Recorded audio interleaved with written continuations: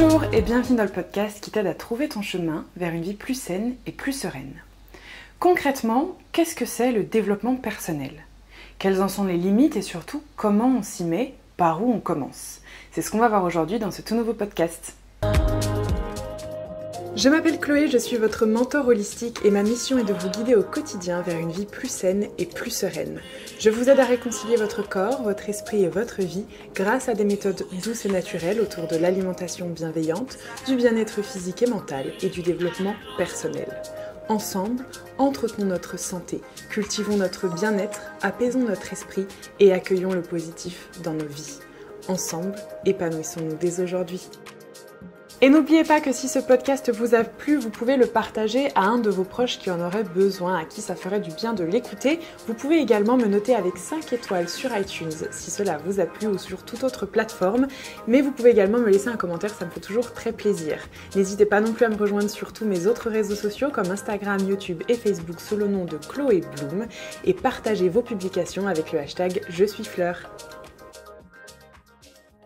Bonjour à tous, j'espère que vous allez bien. Je vous retrouve aujourd'hui dans ce podcast euh, qui aborde le sujet qui touche tous mes podcasts, autrement dit le développement personnel. En effet, bah, vous le savez de toute façon si vous avez écouté un ou plusieurs épisodes de ce podcast-là, que le développement personnel est vraiment au cœur du podcast, donc du podcast que j'ai créé Une vie plus saine et sereine. Et donc, c'est que si vous m'écoutez, vous y êtes forcément sensible. C'est que forcément, même, même si vous ne mettez pas forcément les mots dessus, vous êtes quelqu'un qui est sensible au développement personnel et du moins euh, qui a décidé de l'intégrer dans sa vie, en tout cas de se développer euh, soi-même. C'est vous y êtes forcément sensible, que vous en ayez conscience ou non. Alors qu'est-ce que c'est que le développement personnel en fait? Parce que c'est vrai que c'est un mot qui décrit beaucoup de choses, qui euh, sert d'étiquette de nos jours sur euh, énormément de pratiques, de méthodologies, de tas de choses, etc. Et même moi, c'est vrai que c'est un terme que j'utilise beaucoup, mais finalement, qu'est-ce que c'est? Le développement personnel, finalement, c'est simplement la notion de se développer personnellement. En fait, il n'y a rien de plus compliqué.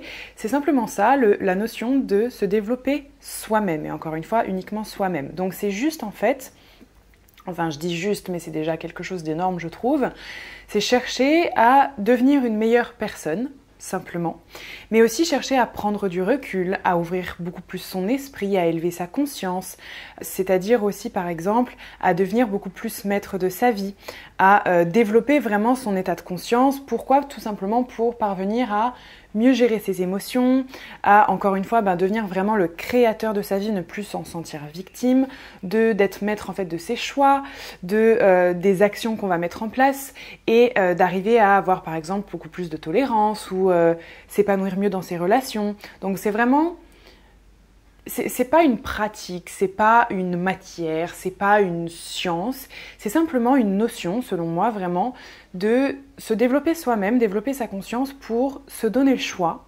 ouvrir le champ des possibles, mais surtout prendre une énorme euh, prise de recul finalement sur la vie pour parvenir en fait à atteindre mieux le bonheur, mieux gérer ses relations avec soi-même, avec les autres, et donc tout simplement ouvrir son esprit. Alors, euh, moi, le, pourquoi du comment je me suis plongée dans le développement personnel, c'est qu'en fait, j'ai commencé à me développer moi-même, à ouvrir ma conscience petit à petit, et seulement par la suite, j'ai commencé à mettre des mots sur tout ce qui était développement personnel, et ensuite, j'ai passé des diplômes et des certifications et compagnie, mais je veux dire, à la base, j'avais pas réellement conscience que ce que je faisais, les exercices, les réflexions que j'avais, les routines, que c'était du développement personnel. Et je pense qu'on n'a pas forcément besoin de mettre euh, d'étiquette dessus. En tout cas, voilà ce que représente cette notion. Donc écoutez, si là vous m'écoutez sur euh, iTunes ou même euh, YouTube ou même sur Instagram, n'hésitez vraiment pas à me dire pourquoi vous vous, êtes plongé dans le développement personnel. Qu'est-ce qui a fait que vous avez rejoint ce podcast-là? Est-ce que vous étiez déjà sensible au développement personnel à la base? N'hésitez pas à me le dire. Je trouve que c'est très intéressant justement à chaque fois de confronter plein d'avis pour observer toutes tous nos différents chemins de vie parce qu'on vient tous d'un horizon vraiment différent et on s'est tous mis dans le développement personnel pour des raisons tout à fait différentes aussi. Donc c'est toujours très intéressant, en tout cas pour moi, de découvrir d'où vous venez et quelles sont les raisons qui vous ont poussé en fait un petit peu là-dedans. En tout cas, ce qui est sûr, c'est que on est tous réunis sur ce podcast-là, une vie plus saine et plus sereine, autour de ça, du développement personnel. On est tous réunis autour du développement personnel et c'est d'ailleurs pour ça que vous, euh, que vous êtes ici, que vous m'écoutez, c'est que forcément on a cette, cette notion en commun, cette envie, cette idée en commun. Et d'ailleurs, sur ce podcast-là et sur mes différents euh, autres réseaux, j'ai eu énormément de demandes, mais vraiment des demandes extrêmement nombreuses en termes de coaching, de développement personnel. L'envie d'aller plus loin. Beaucoup de personnes, suite à ce podcast-là, ce que je sais que ça initie des petits déclics chez vous, même voire peut-être même des gros, et je suis sûre qu'il y a des gros déclics aussi. Il y en a beaucoup en fait qui ont vraiment cette envie d'aller plus loin et qui se disent ok, maintenant moi j'ai envie de mieux gérer ceci, d'arriver à prendre plus de recul, d'arriver à surmonter la peur du regard des autres, d'arriver à plus m'aimer moi, d'arriver à m'épanouir dans mes relations, d'arriver à gagner confiance en moi, de bâtir mon business, de faire ceci, de faire cela, de changer de vie. Donc je sais que voilà, les demandes sont vraiment nombreuses et il y a vraiment cette envie d'aller plus loin. Et ça, messieurs, dames, donc je pense aussi aux messieurs parce que je sais qu'il y en a qui m'écoutent et j'ai de plus en plus la remontée c'est tout simplement le signe que vous êtes en train de vous développer personnellement. C'est justement ça en fait. C'est que hop, vous avez ouvert votre esprit et que ça y est, vous êtes sur le chemin et vous avez envie de plus et vous avez envie de devenir une meilleure personne et d'être plus heureux tout en appréciant déjà ce que vous avez. Donc c'est que vous êtes déjà en train de vous développer personnellement. Alors aujourd'hui, moi en plus dans ce podcast-là, vu qu'on parle de développement personnel, j'ai une excellente nouvelle à enfin vous annoncer. Ça fait des mois et des mois et des mois que je me retiens de vous annoncer ça et j'en ai parlé vraiment par petites bribes dans ce podcast-là, mais pas sur tous mes réseaux sociaux, donc j'avoue que vous avez été un peu au courant avant tout le monde. Euh, je sors officiellement mes coachings de développement personnel, donc le fameux coaching Rise, qui, euh, je vais vous expliquer exactement ce que c'est, donc le fameux coaching Rise, euh, le 9 février. Donc le jour de la sortie de ce podcast, le, la sortie de ce coaching va sortir dans 2-3 jours à peine, donc je ne sais pas quand est-ce que vous allez écouter ce podcast-là, en tout cas le 9 février 2020 sortira officiellement mes coachings de développement personnel qui s'appelle Rise. Donc c'est un, coaching sur lequel je travaille depuis des mois, des mois, des mois, qui est absolument fantastique, où j'ai mis tout mon cœur, toute mon histoire, mes outils, tout ce que j'ai pu apprendre pendant mes certifications, euh, de par mon expérience de vie, mais aussi grâce à mes mentors. Et surtout, je l'ai construit en fait suite à vos demandes. Je l'ai construit en fonction de toutes les demandes que j'ai, les parcours de vie dont on m'a parlé, euh, les messages que vous m'avez envoyés, les mails que vous m'avez envoyés aussi. J'ai vraiment construit ce coaching pour que ça vous ressemble. Et donc l'ouverture des portes se fait officiellement le 9 février. Donc d'ici là, le seul moyen en fait de pouvoir accéder à ce coaching, c'est de vous préinscrire sur une liste d'attente entre guillemets. Ça n'engage strictement à rien, vous inquiétez pas, c'est gratuit pour s'inscrire sur cette liste-là. Ça ne veut pas dire que vous, vous allez participer au coaching, ça veut simplement dire que vous êtes bien intéressé et que du coup vous allez recevoir les informations donc le lien de cette liste d'attente est directement dans le lien de la description du podcast. Donc vous pouvez juste aller le trouver. Euh, donc c'est valable sur toutes les plateformes. Le lien est disponible dans la description du podcast et également sur tous mes autres réseaux sociaux. Donc Rise finalement, qu'est-ce que c'est? C'est un coaching de développement personnel, mais c'est pas un coaching one-to-one. J'ai voulu créer un coaching de groupe. Pourquoi? Parce que euh, le phénomène de, groupe, de coaching de groupe, c'est quelque chose qui est énormément puissant, que moi j'ai pu constater vraiment pendant les retraites Holistic Bloom que j'organise, euh, où en fait, à partir du moment où on fait partie d'un groupe qui partage les mêmes valeurs que nous, qui a cette même envie d'aller plus loin, on fait péter absolument toutes nos barrières, on s'engage dans des objectifs beaucoup plus gros, on rêve beaucoup plus grand, on est propulsé vers le haut, on élève notre conscience, il y a une vraie notion de partage qui est absolument incroyable. Donc ça va être un coaching de groupe qui va durer trois mois, donc c'est trois mois de coaching. Euh, donc je ne suis pas la seule justement à être présente dans ce coaching, j'ai euh, travaillé à mes côtés. J'ai embauché une euh, mindset coach aussi qui est absolument fantastique aussi et qui partage mes valeurs et qui va aussi aider les personnes dans ce coaching-là. Et donc c'est un coaching qui est vraiment très haut de gamme. On est sur un coaching vraiment haut de gamme avec énormément d'outils très complets. Euh, je vais m'arrêter là parce que j'ai pas trop envie de vous spoiler non plus. En fait, je vais tout vous expliquer sur ce coaching-là quand il sortira donc le 9 février pendant une conférence en ligne, donc pendant un gros gros live. Euh, en ligne dans lequel je vais tout vous révéler sur le coaching. Mais en gros, Rise, c'est un coaching de dev perso qui s'adresse à toutes les personnes qui ont envie de se révéler, qui ont envie de casser leur barrière mentale, qui ont envie d'incarner la personne qu'elles ont envie d'être, qui ont envie d'être créatrices de leur vie, de révéler leur potentiel, de briller, de s'élever, de ne plus être confrontées à la peur du regard des autres, au jugement d'autrui, etc. C'est vraiment un coaching qui est là pour vous libérer totalement et qui est là pour faire en sorte que vous puissiez raisonner, rayonner, pardon, devenir vraiment la personne que vous désirez être, créer la vie que vous désirez avoir. Donc le principe de Rise, c'est vraiment voilà ensuite à la sortie de, ces trois mois de coaching, de se sentir capable, d'être affirmé, d'être inspirant, de se sentir euh, authentique, d'être beaucoup plus sûr de soi, décidé et d'être acteur de sa vie.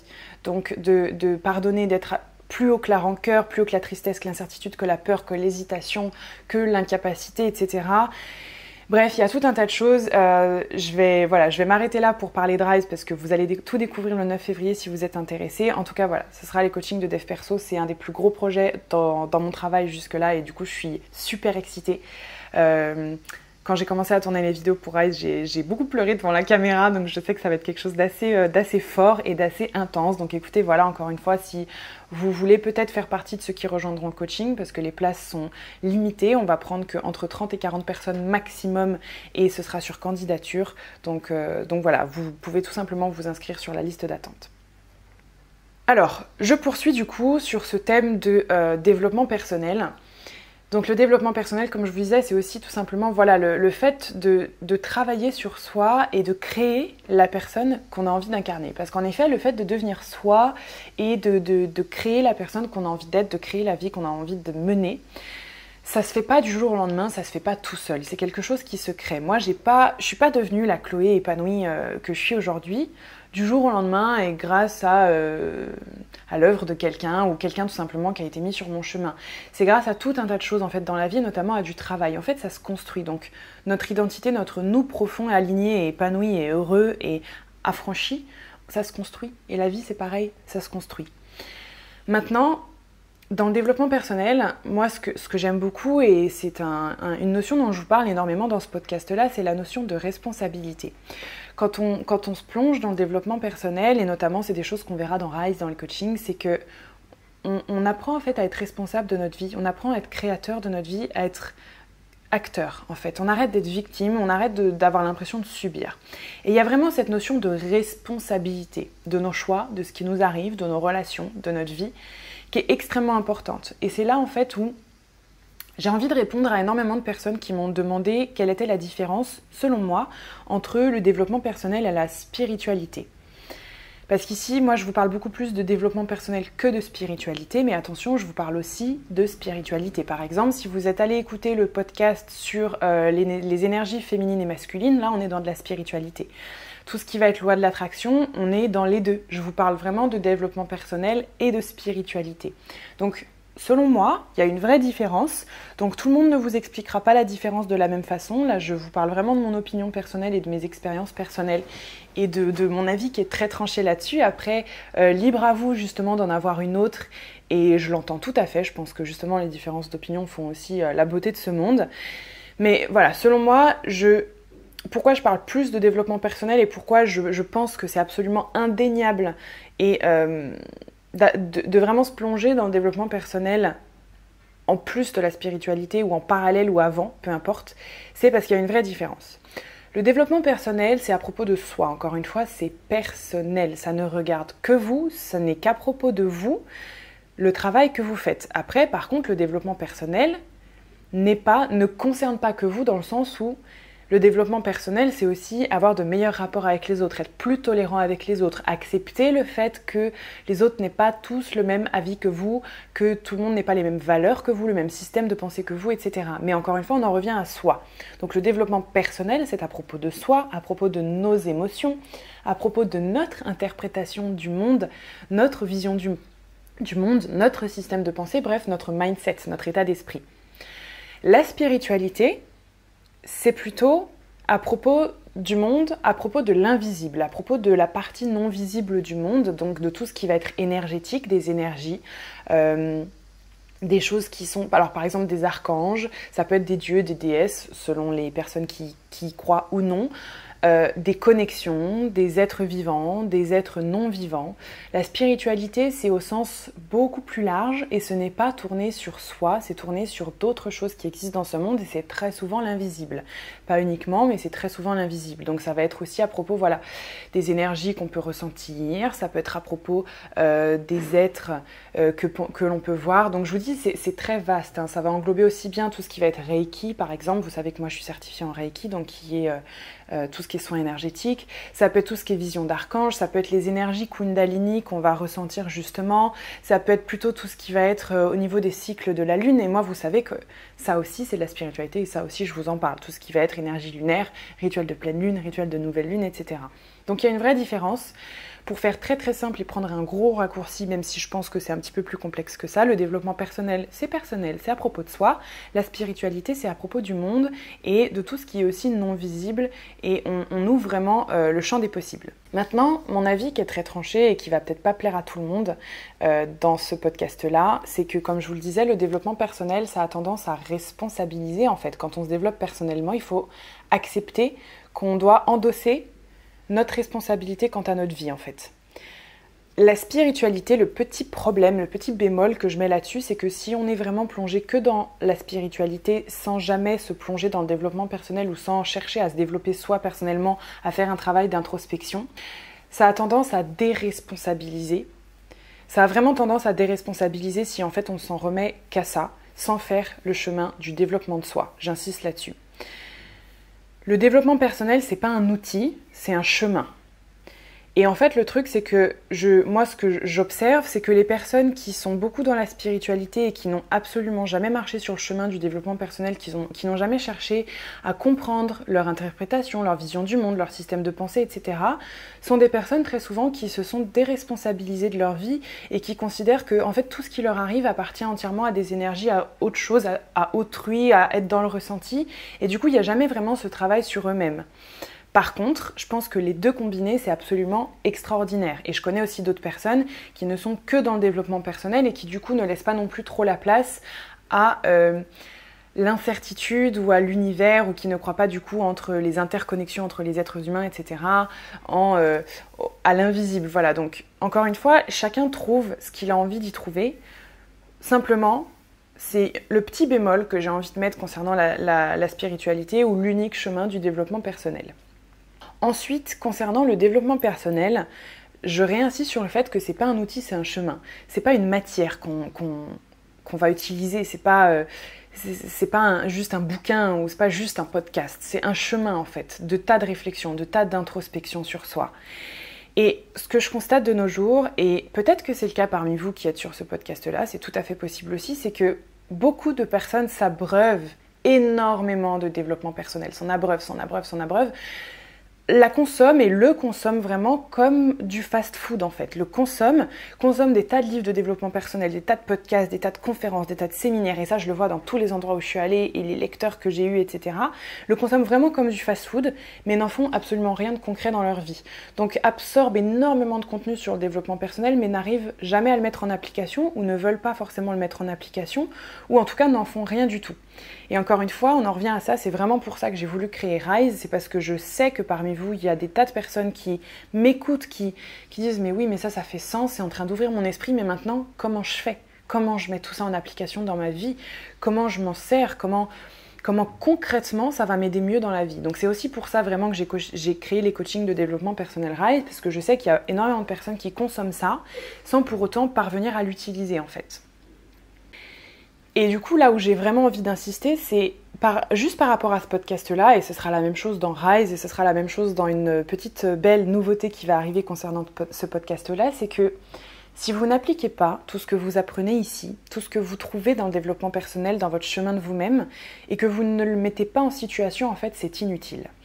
Ça sert à rien d'apprendre, apprendre, apprendre, apprendre. Ce qu'il faut, en fait, c'est comprendre, absorber, assimiler devenir et incarner. Ça sert à rien d'apprendre le développement personnel, ce n'est pas de l'information. Ce qu'il faut, c'est incarner votre développement de vous-même parce que c'est de la transformation, tout simplement. Donc finalement, si on consomme constamment du développement personnel, mais qu'on reste collé à la phrase oui mais, ou moi je subis ça, ou c'est pas de ma faute, etc., c'est que finalement en fait on ne se développe pas, on continue de rester vraiment victime de sa vie, et que toute l'info qu'on accumule en fait sur le développement perso, on ne l'applique pas à soi. Et du coup, c'est vrai que c'est quand même assez dommage parce que, parce que quand, on, quand on commence à mettre un pied là-dedans, à marcher sur le chemin du développement de soi-même, c'est très fort. Et le développement personnel, encore une fois, je réinsiste, ça n'est pas une pratique sportive, ce n'est pas juste une passion, ce n'est pas juste un challenge, c'est une notion qui décrit le fait de se transformer, de s'élever quand on prend du recul. Donc encore une fois, c'est personnel. Et là où je vais vraiment pousser le bouchon, c'est qu'encore une fois, quand je dis que c'est personnel, ça signifie qu'on ne peut pousser personne à s'y mettre, parce que c'est à propos de soi. C'est vrai que quand on commence à découvrir le développement personnel et toutes ces notions-là, en fait, on se dit waouh, mais en fait c'est évident et on a envie que tout le monde découvre ça et on a envie de partager ça à tout le monde. Et c'est exactement pour ça que j'ai créé ce podcast-là. On a envie de tout partager, on se dit que ça fait bon sens et que, en fait, c'est tellement nouveau et c'est tellement magique que, en fait, ça vraiment, ça nous confère une notion d'empouvoirment. Encore une fois, je répète, c'est vraiment pour ça que j'ai créé ce podcast-là. Et je me suis dit, mais en fait, c'est tellement magique qu'il faut absolument que tout le monde soit au courant. Et en fait, le truc, c'est que on peut pas pousser quelqu'un à se mettre au développement personnel. J'ai eu plein de petits messages de votre part de bah moi j'ai tous ces déclics, maintenant j'aimerais y mettre mes parents, j'aimerais y mettre mes frères et sœurs, je voudrais que mon copain s'y mette, etc. Ce qu'il faut comprendre, c'est que le développement personnel, c'est personnel. Donc on ne peut pousser personne à avoir des déclics, on ne peut créer les déclics dans l'esprit d'autrui d'aucune manière, à part si cette personne a envie d'avoir ces déclics en fait. Donc on ne peut pas pousser quelqu'un à se mettre au développement personnel, et ça c'est vraiment une notion qu'il faut comprendre, il faut accepter de redescendre un petit peu sur Terre aussi et se dire que le développement personnel, ça ne nous rend pas de meilleures personnes que les autres, ça ne nous rend pas euh, supérieurs du tout, que c'est simplement un chemin sur lequel on marche, qui nous fait du bien à nous et que tout le monde n'a peut-être pas envie de marcher sur ce chemin-là. C'est vraiment une notion d'acceptation. Après, ce qu'on peut faire éventuellement, c'est de poser un, livre intéressant sur la table de nuit si on sait que ça va faire du bien à cette personne-là. Il ne faut pas le faire en pensant que du coup, ça va devenir une meilleure personne. Par contre, on peut dire des petites phrases, on peut l'écouter d'une façon différente, on peut mettre un podcast un peu plus fort dans la voiture si on pense que cette personne-là, ça va lui faire du bien d'écouter ça. Mais il faut accepter que la personne n'est pas forcément prête à recevoir cette information-là, il faut vraiment le comprendre.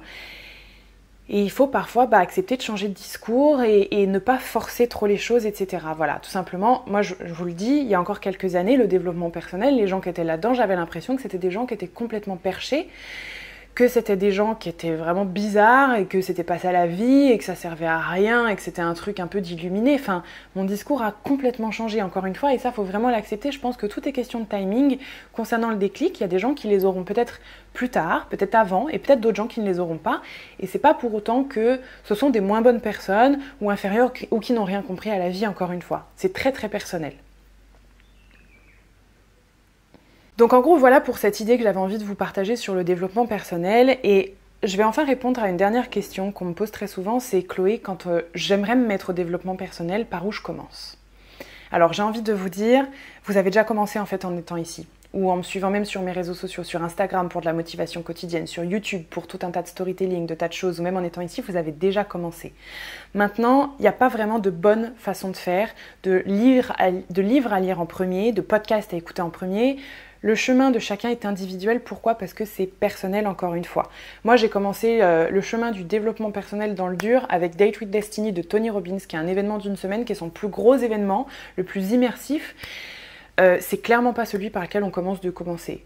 On, conseille de commencer, pardon. Ben moi j'ai commencé par celui-là et honnêtement, enfin, zéro regret au final. Et j'ai jamais fait celui qui est celui de Tony Robbins par lequel on est censé commencer. Donc vous voyez, chaque chemin est vraiment très individuel. Après, si vous avez envie euh, de vraiment marcher sur le chemin pour avoir les déclics dans le bon sens, etc., c'est aussi ce que Rise permettra, dans le sens où ça va être un chemin qui vous emmène à un but très précis. Je vous expliquerai tout ça justement le 9 février. Voilà pour ma vision du développement personnel de la spiritualité. J'espère que ça vous plaira. Peut-être que parmi vous, certains vont se reconnaître là-dedans. Peut-être que pas du tout. Il y en a qui seront pas du tout d'accord avec moi et qui, qui vont peut-être un peu s'énerver, s'irriter. Je ne sais pas. En tout cas, écoutez, c'est ok. Chacun sa vision. Encore une fois, c'est personnel. J'espère que tout ça, ça vous a plu. Je vous remercie infiniment de m'avoir écouté jusqu'au bout. Je vous fais des bisous. N'hésitez pas encore une fois si vous avez envie de me faire part de quoi que ce soit. Je suis toujours très preneuse de sujets, de commentaires, quoi que ce soit. Je vous fais des gros bisous. Je vous retrouve la semaine prochaine pour un tout nouveau podcast qui va aussi beaucoup vous plaire sur la notion de l'ego. À très vite